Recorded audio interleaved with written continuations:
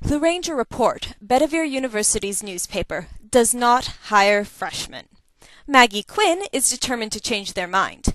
To do so, she's going undercover to infiltrate this year's sorority rush, even if it does mean enduring the questions, What's your major? and Where do you live? over and over and over again. But Maggie gets chosen by the Sigma Alpha Xis to pledge with them, and her Phantom Pledge column is an immediate hit. However, Maggie can't help but noticing that the Sigmas are incredibly successful and lucky. Almost too successful and lucky.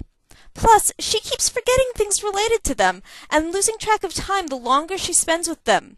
The last time weird things like this happened to Maggie, she ended up having to save her high school senior prom from a demon. Why? Because Maggie's sort of a psychic, thanks to some powers she's inherited from Granny Quinn.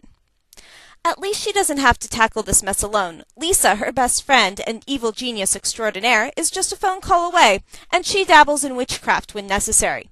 Then there's Justin, Maggie's history TA. He's the closest she has to an expert on the occult, and he helped her out the last time she faced down a demon.